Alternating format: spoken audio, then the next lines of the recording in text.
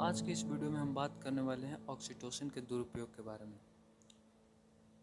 First हम लोग ये जानते हैं कि ऑक्सीटोसिन होता क्या है। तो ऑक्सीटोसिन एक नेचुरल हार्मोन है, जिसका ज़्यादातर इस्तेमाल प्रसव के दौरान गर्भाशय को सिकोड़कर बच्चे को बाहर निकालने में किया जाता था। परंतु इसका लंबे समय से दुरुपयोग होते आ रहा था। रिसेंटली दिसंबर के 2018 में दिल्ली हाई कोर्ट ने इसको बैन कर दिया। इसको बनाने का लाइसेंस सिर्फ़ कुछ कंपनियों को मिला था, परंतु इसको इनलीगली हमारे देश में बनाया जाने लगा था। इसका ज़्यादातर इस्तेमाल दुधारू पशुओं के दूध के उत्पादन को बढ़ाने के लिए किया जाने लगा था।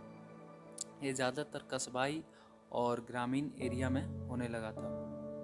इस्तेमाल से डेयरी फार्म वालों को फ़ायदा तो पहुँच रहा था, लेकिन इसका डायरेक्ट उस दूध को पीने वाले के हेल्थ पर हो रहा था। जिसकी वजह से दो समस्याएँ सामने आ रही थी।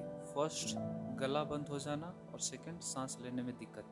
और इसका असर सिर्फ़ ना हमारे शरीर पे, बल्कि इसका असर गिद्धों पर भी होने लगा था। गिद्ध जो कि प्रकृति के सफ़ाई कर्मचारी हैं, जब इन जानवरों की मृत्यु हो जाती थी तो इन्हें जंगल में फेंक दिया जाता था। जो गिद्ध हैं, वो आते थे और इन मांस को खाते थे, जिनकी वजह से इनकी कई प्रजातियाँ विलुप्त हो गई। इन सारी बातों को ध्यान में रखते हुए दिल्ली हाई कोर्ट ने अपना फैसला सुनाया और फाइनली इस ऑक्सीटोसिन को बैन कर दिया।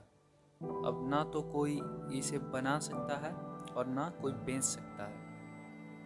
और अगर कोई इसका इस्तेमाल करते हुए पकड़ा जाता है तो उसे जेल हो जाएगी। सो आई होप आप लोग को वीडियो पसंद आया होगा।